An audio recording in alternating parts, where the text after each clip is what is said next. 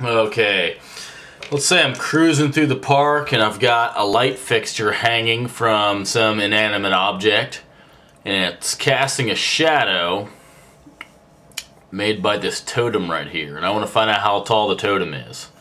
Okay, the totem is T because we don't know what it is. And I've given you theta being 38, okay? Now, I just made this problem up, so I'm probably as confused as you are. So let's see if we can't uh, do some trigonometry here. Okay, I want to know how tall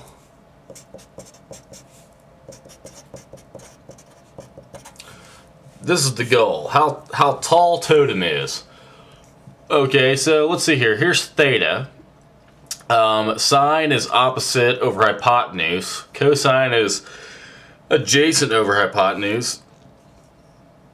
Um, tangent is opposite over adjacent. And there's actually a little jingle to that. Okay? Tangent theta equals TOA. TOA. That's tangent opposite over adjacent. Actually, there's a whole mnemonic for it, SOHCAHTOA, and I, I, I should have done that in the uh, last video, but I, you know, I don't need to do that anymore because they're really beat into my head. Okay, um, let's see here. So yeah, it looks like we're going to use some tangent of theta. So let's just write what is tangent of theta in this case. It's uh, it's equal to t over 10, isn't it? Okay, t over 10. And, and it looks a little weird, but that's okay because we're going to take it and we're going to multiply it by both sides by 10. It's an equation, just like in algebra.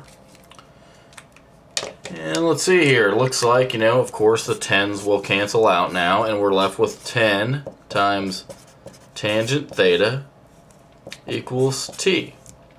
Well, theta is 38 degrees, so let's just go ahead and write 10 tangent of 35, 38 degrees equals t.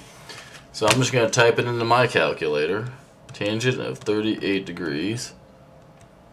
What's that equal to? 0.78. Let's call it 0.78. It's, it's a real weird number, but let's just call it 0.78.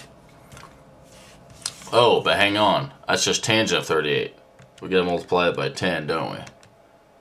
7.8. Okay. and our original was in meters, so let's read.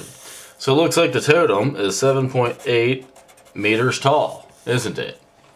And now we can go and do the Pythagorean theorem and find out this if we want. But we don't care. This is just air here. There's nothing here except a beam of light. Okay, so there's that one. That's not that's not too bad, is it? Not too bad.